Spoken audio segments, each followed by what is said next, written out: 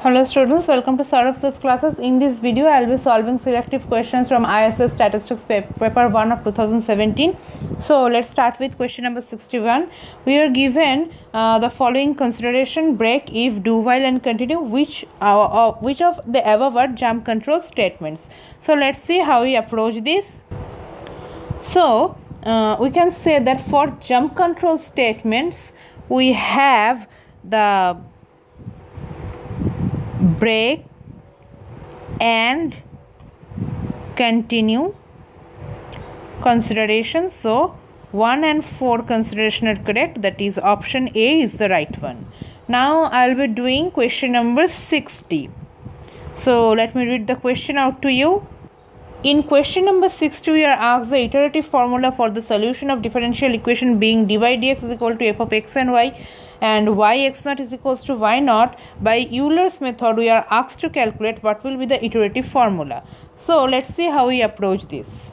So we can say that dy dx is equals to f of x and y and y x naught is equals to y naught. So then Euler's method states that the iterative method is yn plus 1 is equals to yn plus hf of xn and yn so the option is option D.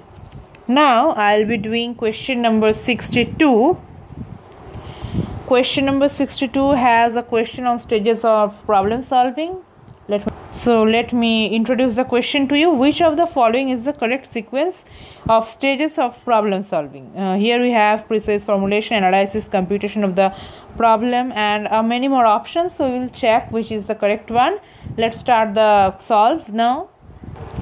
So, in question number 62, we have stages of problem solving as precise formulation, precise formulation, 2 is analysis, 3 is computation of the problem. So, our correct option is option A. Now, I'll start question number 63 First, let me read the question to you.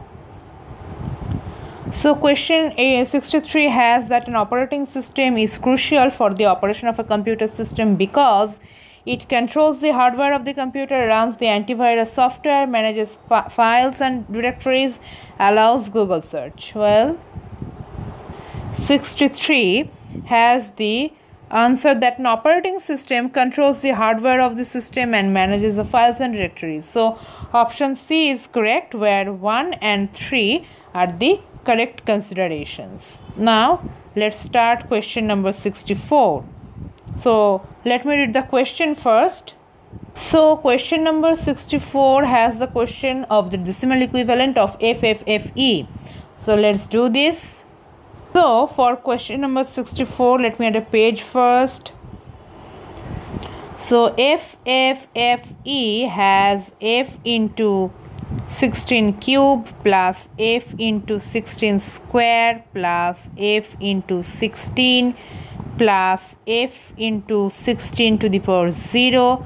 This gives us 15 into 16 cube plus 15 into 16 square plus 15 into 16 plus 14 is equals to 65534 so our correct option is option d. Well thank you for watching the video. Hope this helped you solving your queries and know more about the iss solution papers. You can stay tuned for more solution of the iss papers and keep checking our site thank you